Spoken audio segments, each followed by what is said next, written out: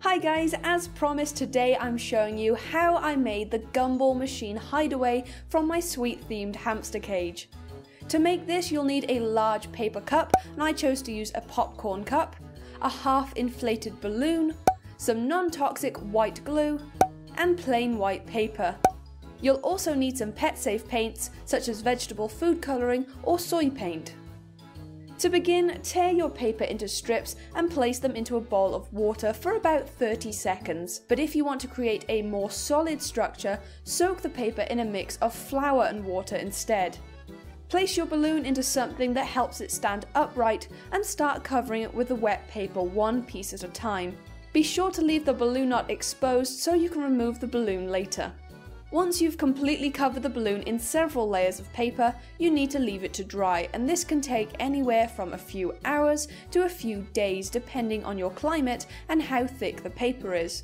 Storing it somewhere warm and dry will help speed the process up.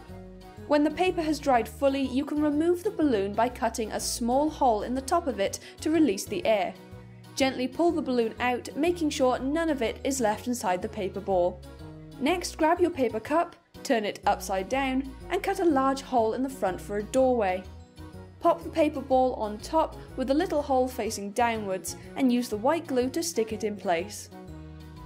After the glue has dried, you can use your pet safe paint to start painting on the gumballs, and there are no rules here. Use whatever colours you want, make them whatever size you want, it is entirely up to you.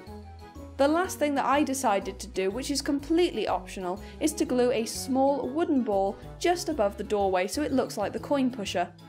You don't have to do this step, I just felt like it was the perfect finishing touch. So there you are, that is how I made the Gumball Machine Hideaway. If you enjoyed this video, please don't forget to leave a thumbs up. You can also share this video with your friends and subscribe to the channel if you haven't already. Thank you so much for watching guys, and I'll see you next time. Bye bye!